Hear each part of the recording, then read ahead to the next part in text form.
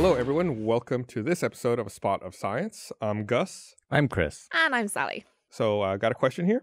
Mm-hmm. It says, Hey there. I was Hi. wondering if Sally could tell me what. Wait, I'm right here. I was Just, wondering. just me. I was wondering if Sally could tell me. We might have to skip Chris. I was wondering if Sally could tell me what we know about pets' feelings. Does my cat love me? Is there any way to tell whether they're just with us for food or because they like us? Why would a cat choose a favorite human within a house when it gets fed by all the humans? Thank you a lot. Love, Lena from Germany. Lena, does your cat not love you? I've, it's so much desperation in that question. It's like, why doesn't my cat love me? Tell me it's have you ever owned a cat. Chris? I have. I have. It was it put up with me. What was your cat called? Uh, just cat. What? You called Kitty. your cat cat? I called it Kitty. The- It didn't have any like identity issues. It, It- knew it was a cat. Yeah, yeah. It was Kitty. Well, because it was one of those things where we just went through a couple different names and then, then none of them stuck. So we Dog. just went with Kitty. Were Were you Sheep. your cat's favorite human? Did that cat have a favorite human? I think so. But I also had the litter box in my bathroom, so it probably enjoyed being in my room so it could poop easily. Did you have a cat, Gus? Uh, yeah, I had, I had cats when I was growing up.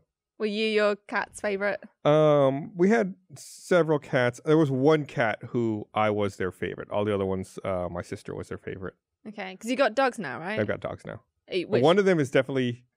Wait, they both kind of like me. Yeah. are you more of a dog person? there- or- they are. Those are my dogs. Oh, adorable! Yeah, oh, so- it's so fluffy. They both they both love me. So are you a dog person or a cat person? Which which is your favorite? I uh, I think nowadays I prefer dogs. okay. Yeah, I think so. So, do you have any uh, insight for us, Chris? Do uh, Do- do cats love people? they do love not uh, platonically um and uh i think it's because the the cats who have um who live with us they've been bred in such a way where like we're more likely to bring them into our house and and let them live with us if they're friendly and they show affection and uh and so that's why cats are affectionate and they do love us Because we maybe bred 'em that maybe not lena's cat Yeah. but generally speaking cats love us Um. What what's the what's the deal, Sally? Well, it's really interesting because cats and dogs vary so much, which is why I asked you which one you prefer. Because cats think that we're cats. Dogs know that we're humans and that we're not just weird, stupid dogs. Cats think that we're weird, stupid cats. Uh, in the sense that the way that a cat shows affection towards a human is exactly the same as how a cat shows affection towards another cat. Whereas how a dog shows affection to a human is very different to how a dog would treat another dog. So cats don't distinguish their behavior between other cats and other humans, whereas dogs will preferentially seek out humans over other dogs. So dogs so much better. I am so much a dog person compared to a cat person. Is that why cats will like bite and scratch humans? Yeah, and they will scent mark and rub up against their legs, whereas dogs won't do that. Um, and cats will do that to other cats, and they treat them just the same. You got your hand up. uh, to that note Yes. All right. I've never been humped by a cat, but I've been humped by lots lots of dogs. Now, if if a dog is going to treat us like humans and not like other dogs, why are the dogs the ones humping us and cats aren't humping us? I I don't think I've ever been humped by either. What is Dogs hump everything. they hump everything, and so it just treats you as another thing. Okay. But why don't cats hump us then? Uh, because they don't like you. It's it's that is more likely going to be a smell thing. So you dogs when they're on heat become very sexually attracted towards pretty much everything. Um, and so that's more of a behavior that they will hump anything. and I. I don't know so much about cats on heat, but I don't think they have that same behavioral response. If dogs want to hump everything, then how do they end up hitting the mark? What? Like, okay, you say when dogs are in heat, they want to hump everything. Because And if they're humping everything, why? How is it? Isn't it likely? I mean, how Because they're not humping everything to the same frequency or extent. they, they just, are even more likely to hump a dog in heat than a random table leg or you. Yeah, yeah, okay, So yeah, it's it's not that they're doing it to the exclusion of humping other dogs. yeah. They will also help with that. But interesting thing about dogs. So we have been co-evolving with dogs for the last thirty thousand years, which is a long time.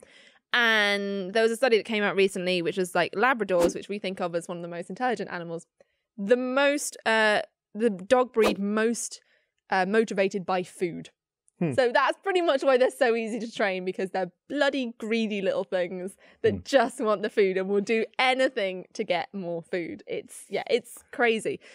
What's even crazier is that they've managed to train dogs to be able to sit in an fMRI machine. So these are these humongous um, cylindrical machines where you have to keep your head perfectly still and they will strap it into blocks to make sure like humans don't like going in MRI machines because there's loud beeps and everything. And there are these adorable videos of dogs being trained to stick their head just in this uh, MRI machine perfectly still. And then they will show the dog inside the machine Uh, as sights or smells or sounds and then they're able to look at the blood flow inside the brain to see which parts of the brain are lighting up. And they give the owner's smell to the dogs and the uh, the sound of their owner to the dogs and it lights up the same reward part of the brain that we have.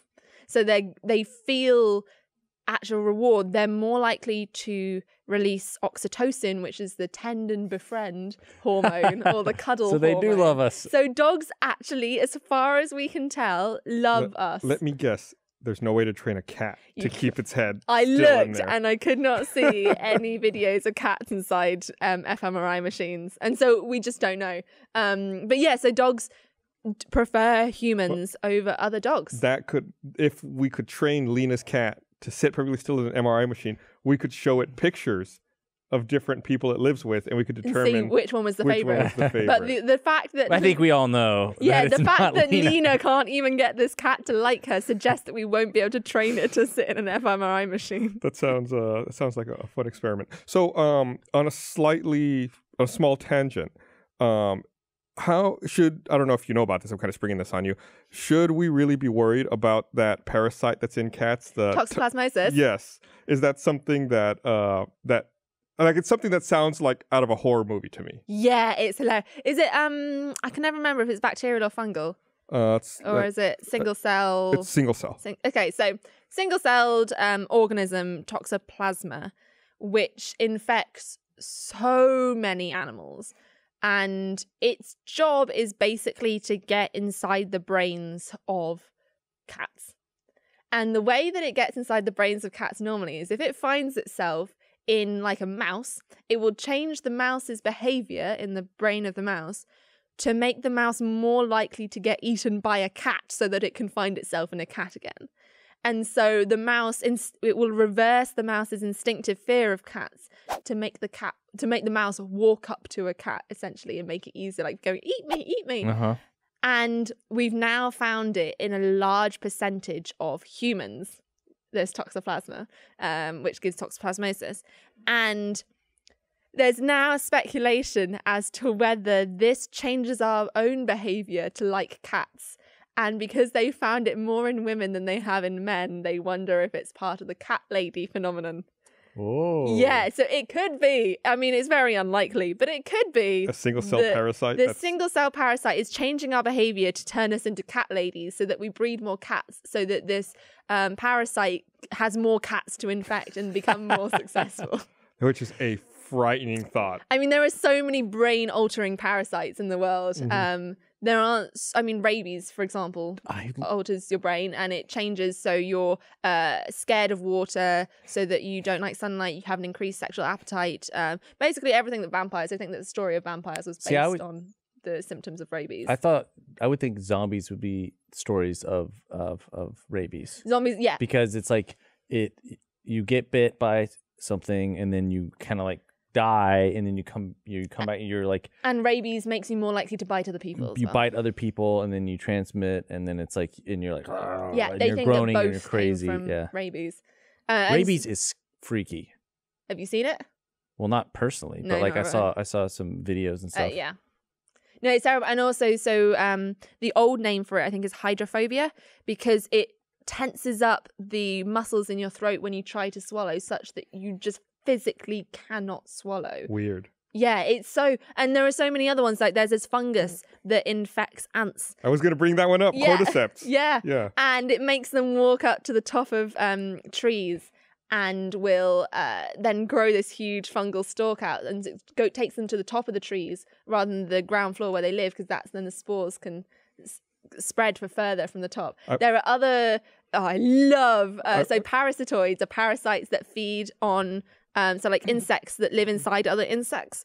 And there are so many parasitoid wasps that live inside caterpillars, so but- baby butterflies, and they will lay their eggs inside a caterpillar. And there's a, um, I don't know how they did. They stuck a camera inside one of these caterpillars that have been got all these wasp larvae inside, and it eats it from the inside out, alive, avoiding all of the organs that make it um that keep it alive so that they keep it alive for as long as possible but eat out everything else like the gut and everything and then they change the brain of the caterpillar so that the caterpillar then um, produces a silk cocoon to protect the wasp larvae whilst they pupate. So, and then they finally eat the brain and burst out through the walls of this dying caterpillar. But the last thing that this dying caterpillar does is defend the wasps from other parasites by f- thrashing around whenever it feels motion to make sure that the wasps themselves, even though it's kind of its dying body because it's had these things bursting out from its sides like true alien style and it will still protect what it has what's eventually killed it That's It's that's an even more awful version than Alien. I yeah, think. Yeah. it's so cool. And there are these long, I could go on for ages, but horsehair worms that infect crickets that make them like water because normally they hate water and they jump into the water. And then this huge, like meters long, but very thin worm will just ooze. Oh, I've seen Yeah, that. yeah, I've seen yeah, that's on YouTube, videos of that. Will ooze out because it needs the water for the next stage of reproduction. Oh, there's so much I, cool stuff. I want to stay inside for the rest of my life now. I'm not going back outside. Well, that was a terrifying turn for uh, an episode about cats. So I hope you all sleep well tonight. Uh, if you have any future questions for us, just send them to sciencespot at roosterteeth.com. And uh, we'll see you guys next time. Bye.